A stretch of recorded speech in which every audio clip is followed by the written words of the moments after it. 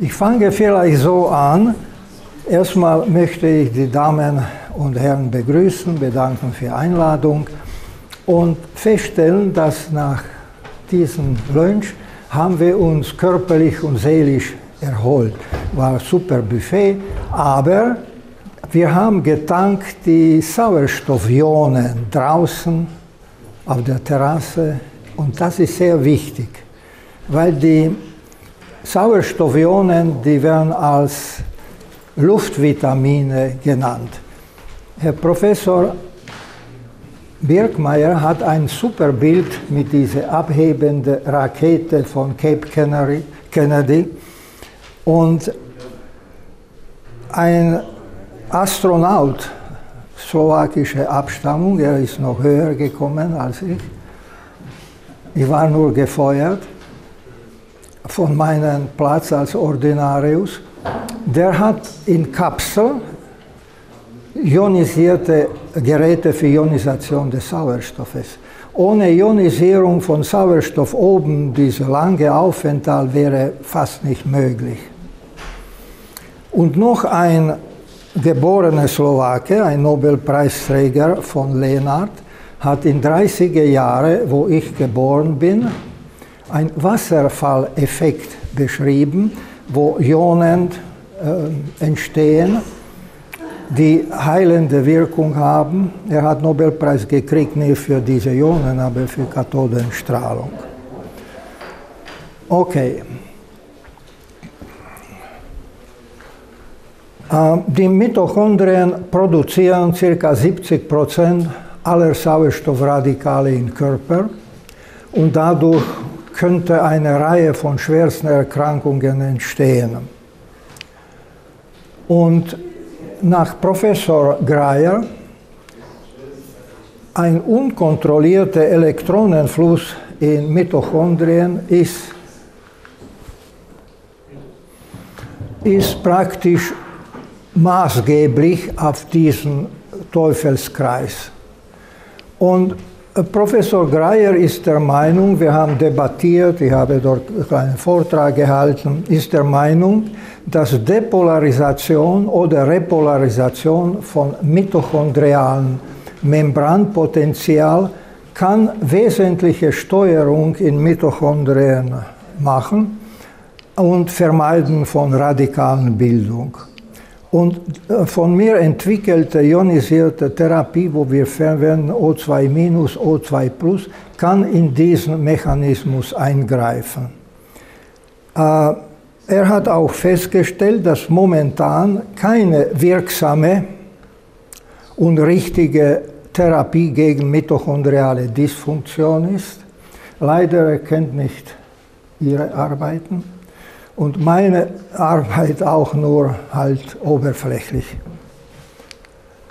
Ähm, für jeden Fall ist wichtig Elektronentransport, also dieser Fluss, und dann die Protonenpumpe, weil diese Ladungwechselung plus, minus oder Gleichgewicht ist von biophysikalischem Standpunkt einzige Möglichkeit, wie die Mitochondrien bioelektrisch arbeiten, reagieren oder versagen.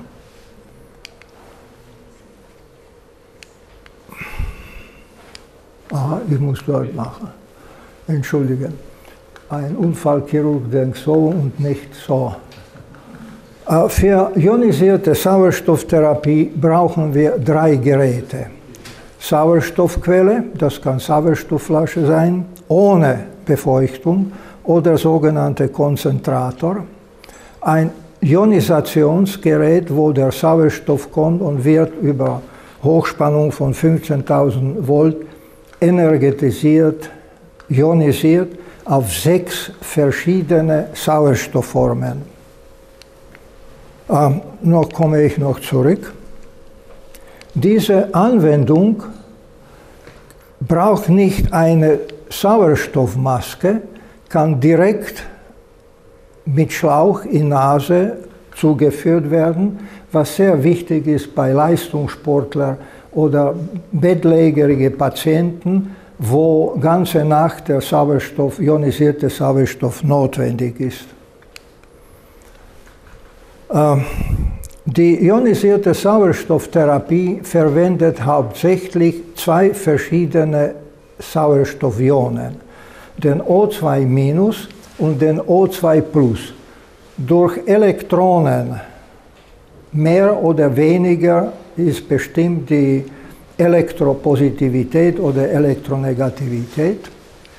Und der O2- wirkt vagotonisch, also senkt den Blutdruck, senkt die Blut, äh, die Herzfrequenz, senkt Serotonin, erhöht die Leistung und Laktatabbau, weil in Leistungsmedizin diese zwei Parameter sehr wichtig sind für Leistung, Leistungssportler oder auch bei Krebspatienten.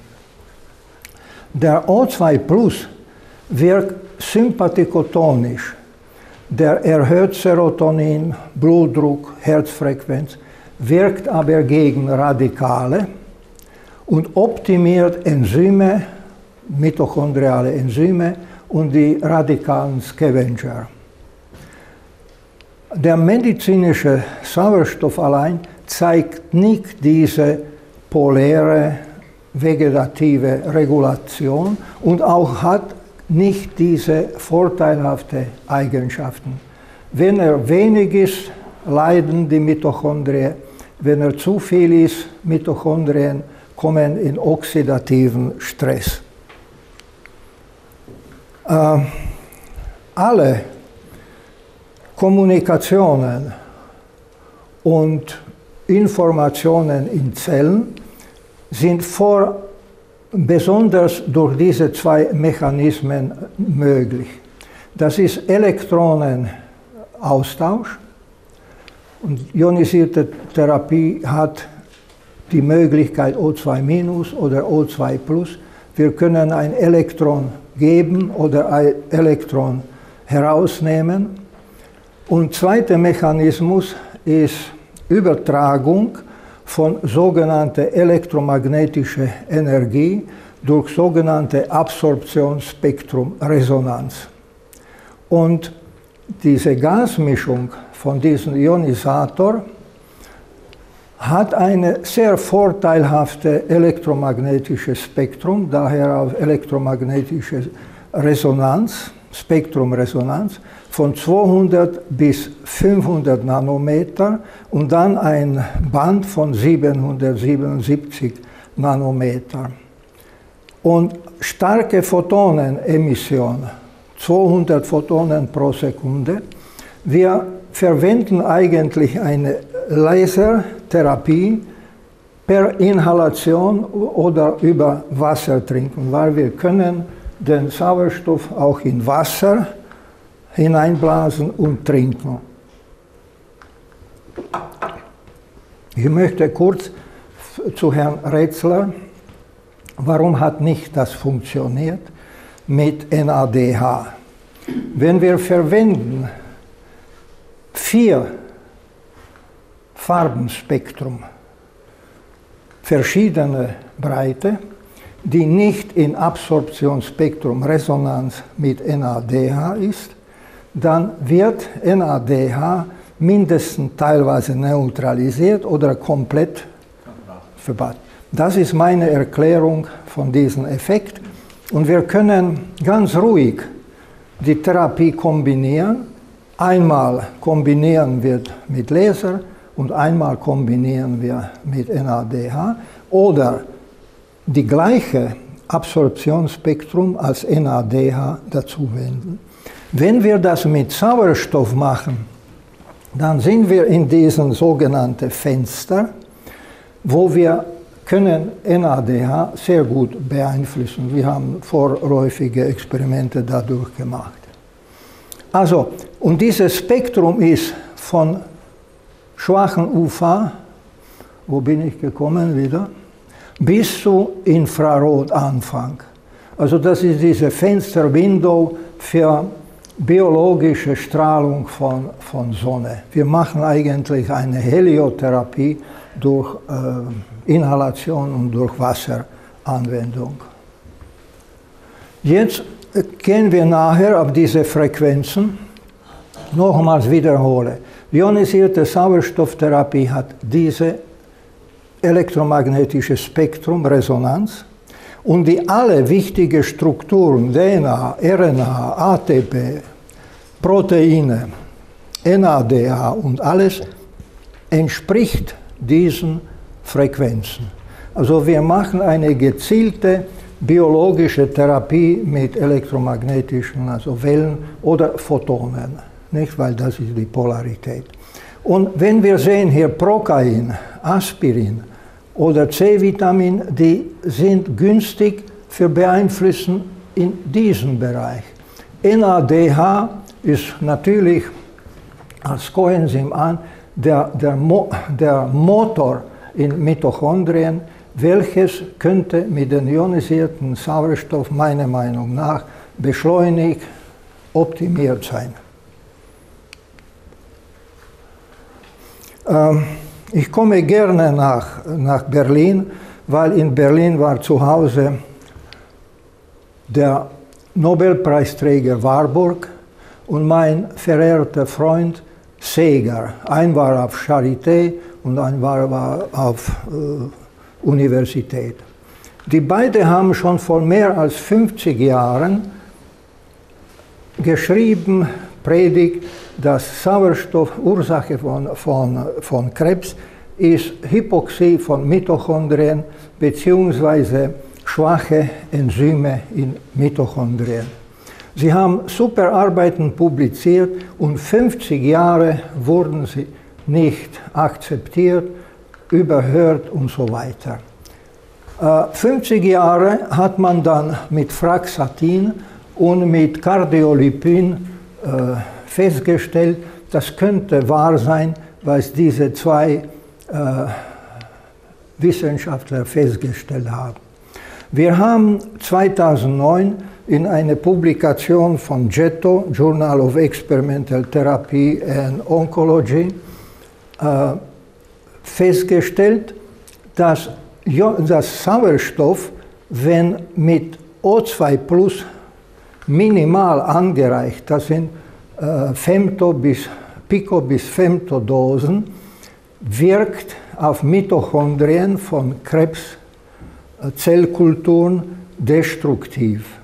Das bedeutet, der Seger und Warburg haben recht gehabt mit äh, Hypothese oder Theorie, dass viele Krebsarten fangen in Mitochondrien an. Ähm, das sind die Publikationen über Wirkung von ionisierten Sauerstoff in sogenannte langzeitige Anwendung, 60 Stunden Atmen mit molekularen medizinischen Sauerstoff und mit Sauerstoff, welche teilweise in diesen homöopathischen Dosen von äh, Femto bis Pico Dosis, das ist 10 hoch minus 12 bis 10 hoch minus 15, das ist eine Moleküle von ionisierten Sauerstoff, auf 100 Billionen Molekülen von Sauerstoff. Das sind Informationen, die äh, kann man mit Homöopathie vergleichen, aber bei Photonen ist das praktisch ein Photon reich zu dieser Information, dass ganz andere Wirkung erzielt wird. Und wir haben festgestellt, dass bei langzeitiger Inhalation des medizinischen Sauerstoffes die Lungen von Meerschweinchen sind ausgesetzt sogenannte oxidativen Stress.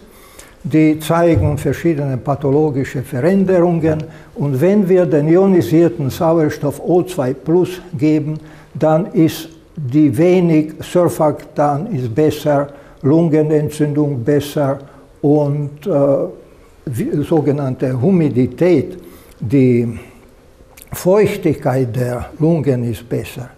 Vielleicht aus diesen Gründen brauchen wir keinen äh, Wasserbefeuchter. Normale medizinische Sauerstoff muss über Wasser durchgeblasen sein. Unser nicht, weil die Qualität, die biologische Qualität braucht das nicht. Und das Gleiche kann man feststellen bei Herz. Das wird interessieren die Kollegen auch von heute, die haben über Herzprobleme gesprochen, dass wir haben Verbesserung von äh, Metabolismus in Herzmuskel, zum Beispiel Richtung oxidativen Stress oder Superoxidismutase, welches äh, wichtiges Antioxidant oder besser gesagt radikalen Scavenger ist in Herzmuskeln. Und dann auch im Gehirn, dass die Schäden von lange äh, Sauerstoff einatmen sind im Gehirn. Ein Neugeborener darf fast nie einen reinen Sauerstoff atmen, sonst kriegt er Augen- oder Gehirnschädigung. Dass diese ionisierte Sauerstoff O2 macht protektive Wirkung bei Anwendung von medizinischem Sauerstoff in Langzeittherapie. Und das sehen wir einen Überblick von circa vier publizierte Arbeiten von 2008 bis 2012, 12, wo der O2 Plus hat sich bei Mitochondrien